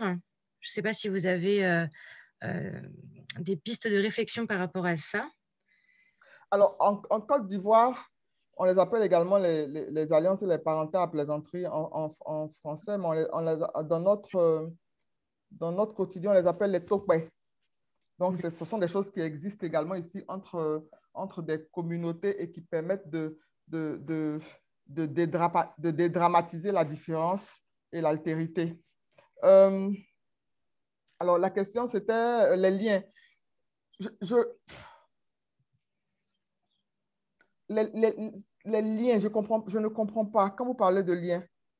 Euh, quand je parle de liens, ça va être par exemple, est-ce que euh, euh, comment dire, les pratiques des alliances et des parentés à plaisanterie dans leur diversité, euh, pour certains chercheurs dans, dans, les contextes urbains en particulier, sont amenés à, évoluer, voire à disparaître, même pour, pour certains chercheurs ou chercheuses?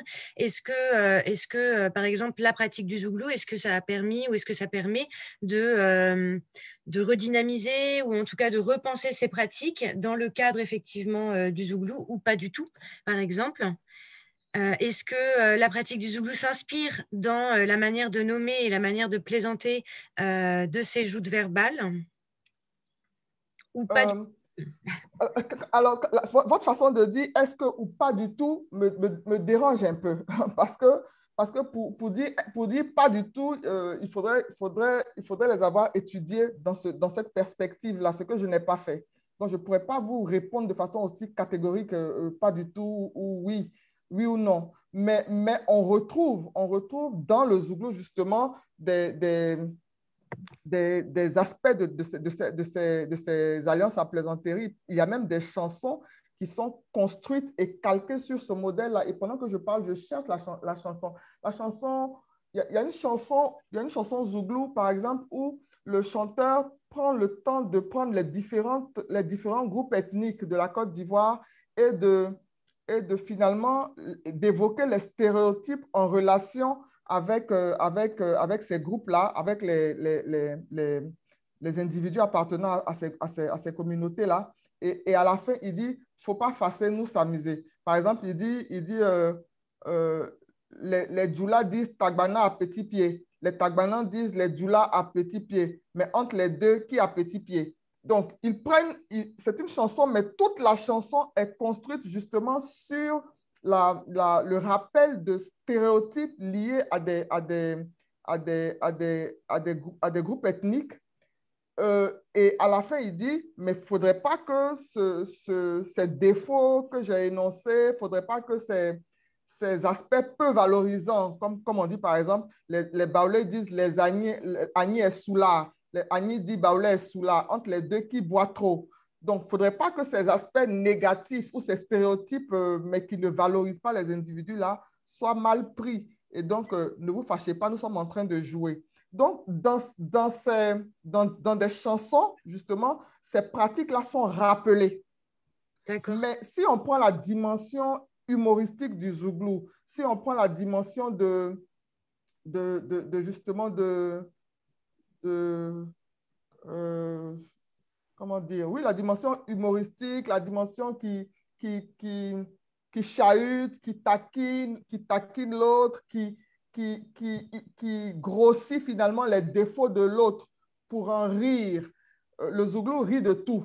Le Zouglou rit, rit, de ce qui est grave, le Zouglou rit du lait, le Zouglou rit vraiment de tout.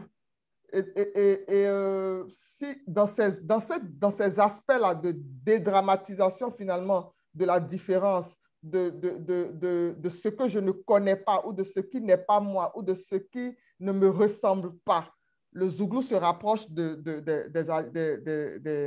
de, parentés à plaisanterie. Mais, mais d'autres pratiques aussi, hein, je, sais que j'en ai parlé par exemple dans, un article, la violence verbale comme un exutoire, où je, disais que même sur les réseaux sociaux, quand on a eu notre guerre en 2011, j'ai essayé de, voir un peu le, comment, le, le, les commentaires, d'analyser un peu les commentaires sur la guerre dans les réseaux sociaux, même la façon d'insulter, de, d'attaquer l'autre, mais sur des, je ne sais pas, vous attaquez, vous attaquez un, un, un internaute que vous n'avez jamais vu sur, la, la, le volume de, ce, sur l'ouverture de le, degré d'ouverture de ses narines ou sur la, ou sur la, en tout cas sur son physique, alors que vous ne le connaissez pas. Ce sont autant de pratiques euh, qui, qui renvoient justement, qui pourraient être rapprochés des parentés à plaisanterie, comme le jeu de gat-gat, par exemple, dans les cours de récréation, où vous avez deux groupes d'enfants euh, avec un porte-parole pour chaque groupe et chacun des porte-paroles qui se lancent des, des, insultes et ce sera à qui trouvera l'insulte la plus originale avec les supporters qui crient, qui encouragent, qui rient, etc. C'est vrai que dans les cours de récréation, c'est, en tout cas à mon époque, à moi, je ne sais pas si les, enfants d'aujourd'hui le font encore, mais à mon époque, à moi, ce sont des pratiques qui se terminaient mal et en pugilat parce y a, il il a bien un moment où on ne, goûte pas, on ne goûte pas la, la, la, plaisanterie, mais ce sont autant de pratiques pour moi qui se rapprochent des, parentés à plaisanterie. Donc, pour répondre à votre question, on en retrouve dans le Zouglou, on ne pourra pas dire pas du tout, donc, on peut, les retrouver scénarisés dans des chansons entières, tout comme dans des, petits, dans des bouts. on retrouve beaucoup de choses. Hein. On retrouve, par exemple, le rituel de demande de nouvelles. Bon, euh, euh, euh, quand vous arrivez chez, un, Ivoirien, vous vous, asseyez, on vous propose de l'eau, il y a de l'eau, vous acceptez ou vous refusez de boire. Une fois que vous avez bu, on vous demande les nouvelles. En général, vous donnez des nouvelles de façon générale. C'est un bonjour. Ah, d'accord, merci. Nous, nous sommes là aussi. Deuxième nouvelle, parce qu'on se dit que si vous êtes venu, vous avez forcément quelque chose à dire en, dehors de la salutation. Et là, vous donnez l'objet de votre visite. Donc, et ça, ce rituel-là, vous le retrouvez scénarisé aussi dans certaines chansons zouglou. Donc, tout ce qui, tout ce qui est de l'ordre de nos pratiques traditionnelles, de notre façon de vivre, de ce qui est nous en Côte d'Ivoire et peut-être même ailleurs aussi, se retrouve dans le Zouglou de façon plus ou moins marquée. C'est pour cela que j'évite de répondre, euh, de répondre oui ou non, parce que le, le, le, le non, ça va être tout juste parce que je n'ai pas cherché dans ce sens. Voilà. D'accord, merci beaucoup. De rien. Je ne sais pas si j'ai le temps de poser ma deuxième question. La deuxième question, je l'ai vue là. La sémantique présente dans le Zouglou permet-elle par moment de dire le passé colonial? dire le passé colonial, de le repenser, de le renommer, visibiliser. De le visibiliser, certainement oui. Ah, mais oui, absolument.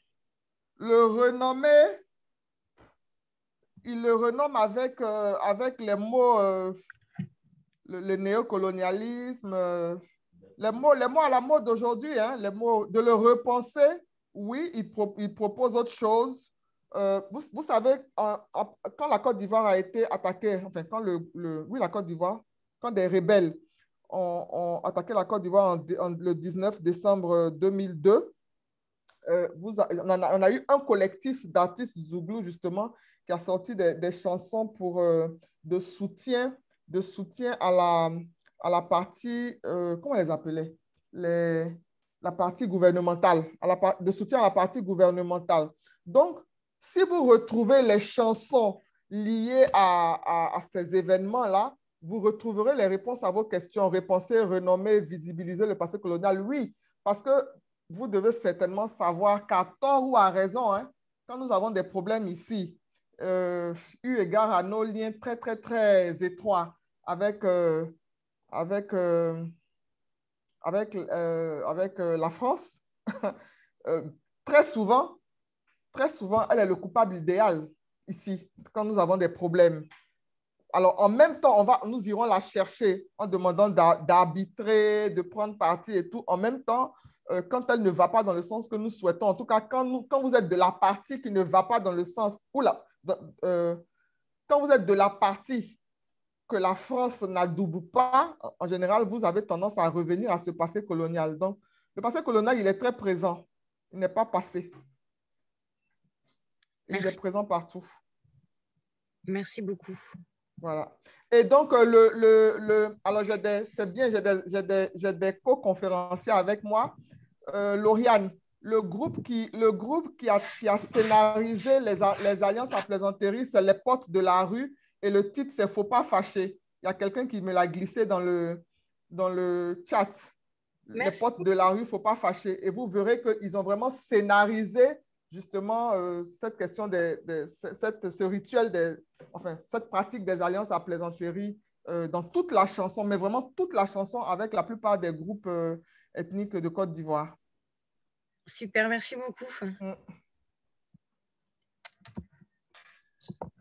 Bonjour, merci pour cette présentation très enrichissante et très riche. Euh, et c'est aussi très pertinent pour notre séminaire et tu, l'as vu hein, ces, derniers mois, c'est en phase avec beaucoup euh, de, ce qui a été dit. Euh, je me demande comment tu verrais les frontières entre euh, analyse du discours, sociolinguistique et anthropologie, linguistique, anthropologique. Est-ce que tu penses que ces frontières sont pertinentes?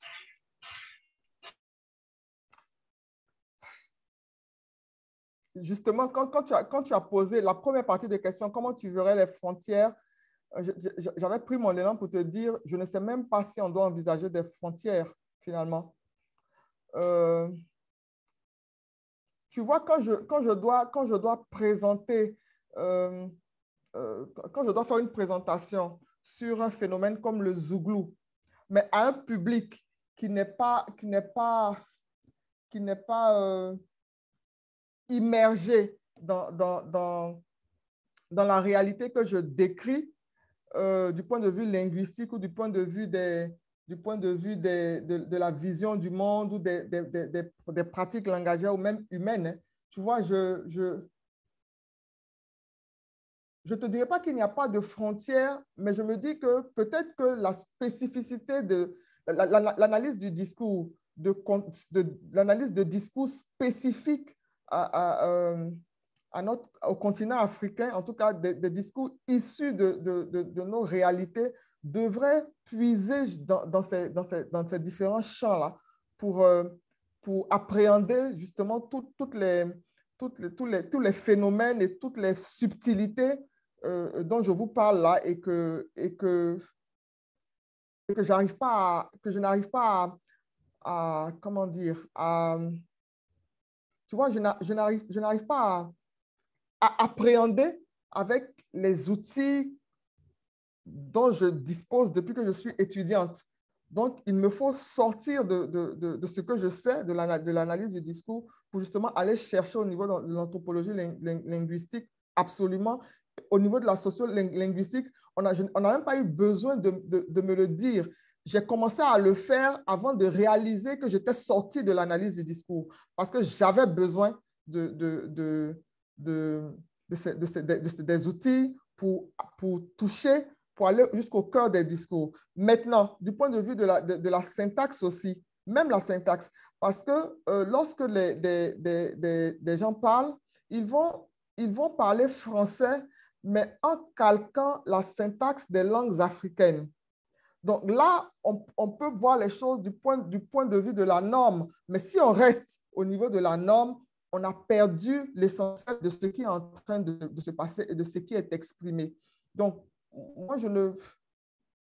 Pour moi, justement, ce ne serait pas un continuum, mais en tout cas, ces, différentes disciplines-là devraient collaborer pour pouvoir euh, toucher les subtilités des, des, discours qui sont des discours propres à, notre contexte. Et, juste, et, justement, en parlant de, en parlant de cela, même la, la, question du contexte, moi, moi c'est quelque chose que, que envie de, sur lequel j'ai envie de revenir, questionner le contexte parce que, euh, voilà, je ne sais pas si j'ai répondu à la question, mais pour moi, il n'y a pas de frontière, franchement, euh, Johannes. Il y a plutôt euh, aller puiser. Maintenant, est-ce qu'on va puiser ce qui nous intéresse dans, euh, dans, dans chaque, dans chaque discipline pour venir analyser, est-ce que ce serait juste de le faire? Moi, je vous pose maintenant la question parce que c'est ce que nous faisons.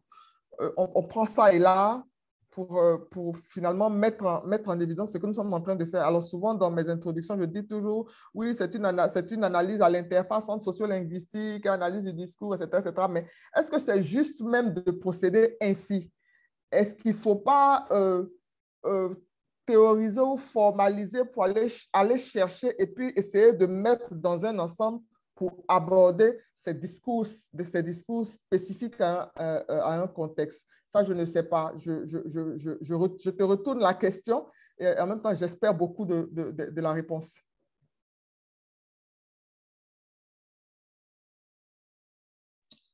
Bah, je pense que si on met l'accent sur les pratiques, les pratiques linguistiques, les, pratiques discursives, comme on le fait euh, ici dans le séminaire, euh, plus ou moins, hein, ça dépend bien sûr des intervenants.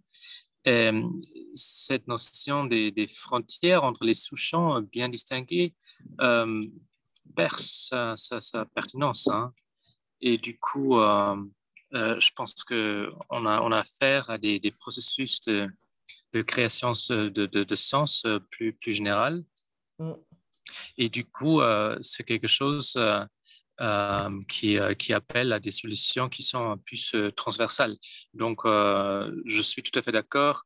on part de l'objet et des, nécessités qui, découlent de, la problématique. Et du coup, les réponses disciplinaires, sous-disciplinaires ne sont pas forcément adaptées. Oui. Oui, mais, mais est-ce qu'il faut construire autre chose? Parce, parce, que, parce que si les réponses tu veux dire quoi? si les réponses disciplinaires ne sont pas adaptées, donc, donc on, on puise un peu, on, est, oui, la dimension transversale, mais moi j'ai un petit souci, enfin, ça fait qu'on reste des généralistes quand même dans, dans, dans, dans une, dans, on, reste des, on, reste des généralistes de, dans un champ. Parce que quand tu, regardes, quand, tu, quand tu regardes bien ce que je fais, je puise, je puise un peu partout, je touche à tout, etc. Est-ce est que c'est -ce que c'est c'est pertinent? Est-ce que c'est intéressant de faire comme ça? Euh, je, je, bah, suis obligé, hein. je, je, suis obligé de le faire par rapport à mon objet, par rapport à mon contexte, par rapport à, mais est-ce que est-ce que c'est ce qu'il faut faire? Mais chaque fois que j'essaie de faire autrement, je dis, par exemple, je pars de là, je décide que euh, tel concept ou telle, telle, telle, telle notion ou telle méthode, etc., est pertinente pour ce que je veux faire, je, ne m'en sors pas. Je suis toujours obligé de dire, bon, je vais prendre un peu ici, je vais prendre là, je vais faire ci, je vais faire ça, mais mais en même temps, quand je, quand je regarde vos pratiques à vous de, de recherche et, tout ça, je me dis, soit je suis obligé, je dois admettre que je dois le faire parce que je suis dans un contexte euh, différent, soit dans ma pratique, il y a quelque chose qui ne va pas. je, me pose la question, quoi. Et euh, Bien, vous mettez les concepts et les disciplines au service du phénomène à analyser et non vice-versa. OK, merci. D'accord. D'accord, merci. Bah, sinon, on tombe dans, dans les pièges des, des, écoles, de la discipline de la discipline. Et donc, ouais. euh, c'est extra-intellectuel. Hein. C'est quelque chose qui n'est pas, pas forcément pertinent pour résoudre les problèmes de recherche. C'est ça. Les problèmes de, de, recherche qui deviennent souvent des, qui sont souvent des problèmes sociaux aussi. D'accord. Oui, OK.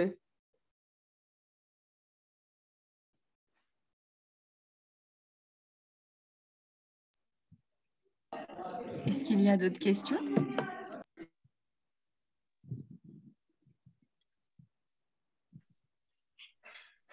Je pense que non. Donc, euh, c'est le moment pour euh, te remercier euh, pour cette intervention qui est aussi grâce à la pandémie. ça nous permet de, de, nous rapprocher à travers le monde. C'est quand même incroyable, non? Il, y a des il y a des bonnes beaucoup choses plus dans facile tout de faire. Oui, tout à fait, tout à fait. Et euh, en même temps, euh, on se retrouve parfois dans les, des, des, situations assez difficiles. Euh, ici, par exemple, j'en suis vraiment désolé. J'ai tout à fait pu, pu, pu suivre. Et j'avais appelé de, de, de, de, mes vacations. Donc, voilà. Un grand merci à, à, à toi, à, à tout le monde et on va se, se voir dans euh, quatre semaines. Avec qui déjà? Qui est la, la prochaine intervention? Il me semble que c'est Brigitte. Oui, il me semble que c'est c'est Brigitte Seba, mais je vais vérifier. D'accord, très bien. Alors, euh, une, une très bonne journée à vous tous et toutes et à très bientôt. Merci beaucoup. Merci beaucoup à vous tous. Merci et, et bon week-end. Nous sommes vendredi. Merci. Au revoir. Au revoir.